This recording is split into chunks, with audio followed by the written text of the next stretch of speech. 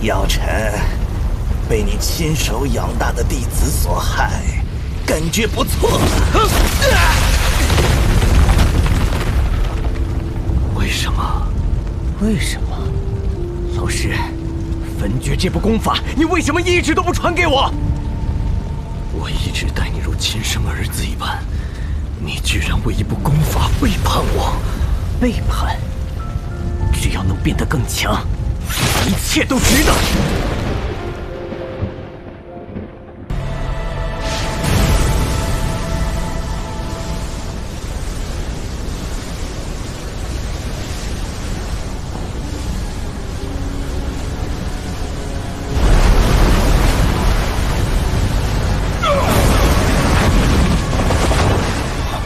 小心，这是异火凝形，威力极其可怕。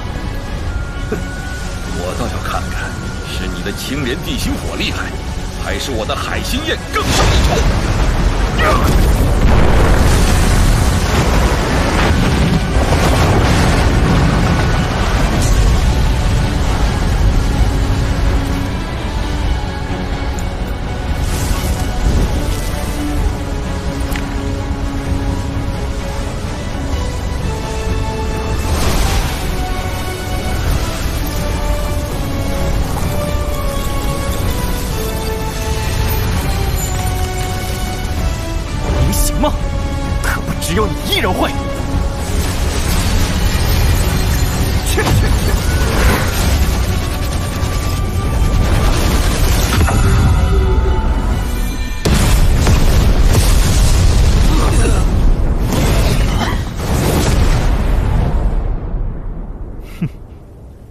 发现了吗？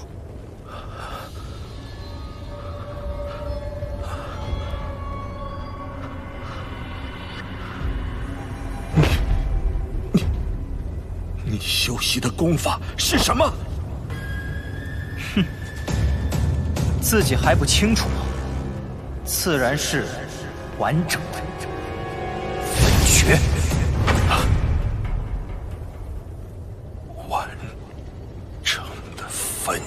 诀。你，你从哪里得到这功法的？是，你他迟早会发现的。既然如此，就给他一个惊喜吧。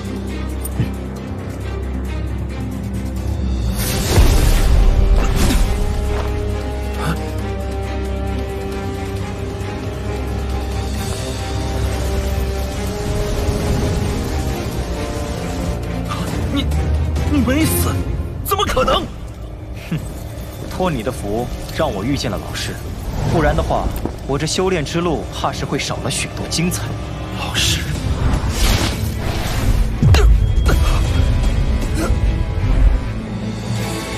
为什么？为什么？老师，文诀这部功法，你为什么一直都不传给我？只要能变得更强，一切都值得。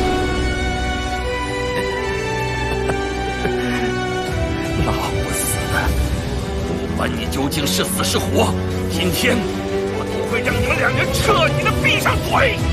就怕你没那本事。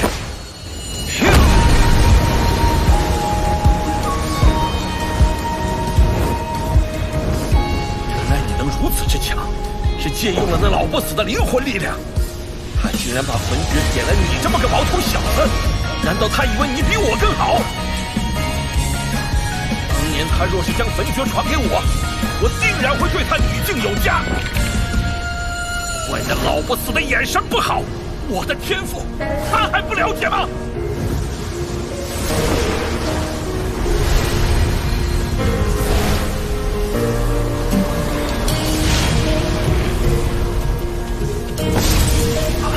孤灵冷火，竟然把这都给了你，凭什么？史诗的叛徒也配说这话？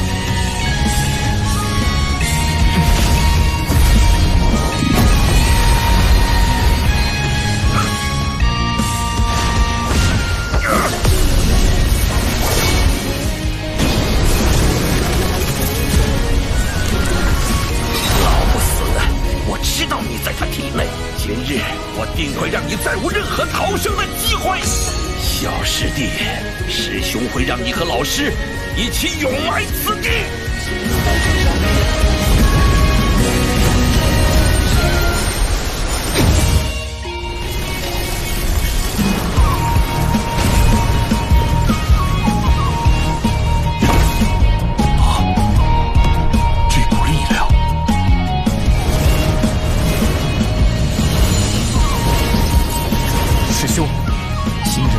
定我来清理门户吧。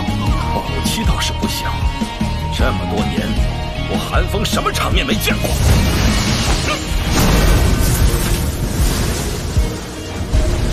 小子，和那老不死的一起受死吧！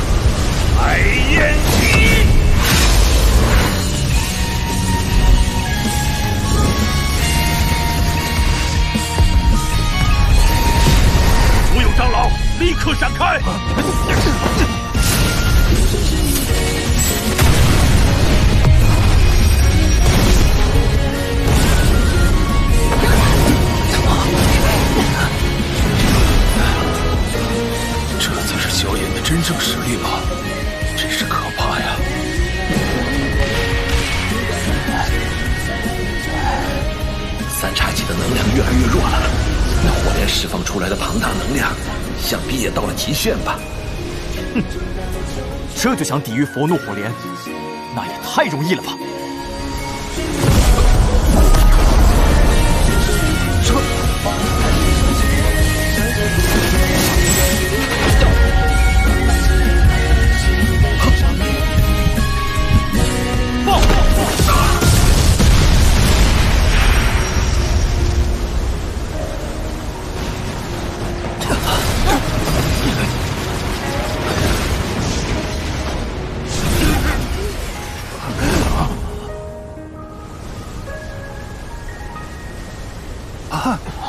这家伙竟然打败了韩风！